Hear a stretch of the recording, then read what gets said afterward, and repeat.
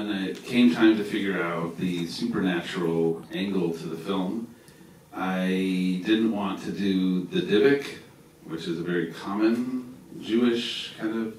Technically, it's if we're going to be technical, it's not a demon. A Dybbuk is a possessing spirit of a dead person.